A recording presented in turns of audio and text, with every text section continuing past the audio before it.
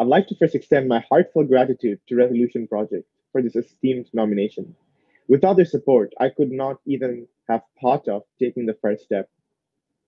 Now, to ASME for recognizing Hydroquo's work, this makes me truly ecstatic and provides my team and I with renewed ambition to keep working harder and go on about solving this grand challenge at an accelerated pace.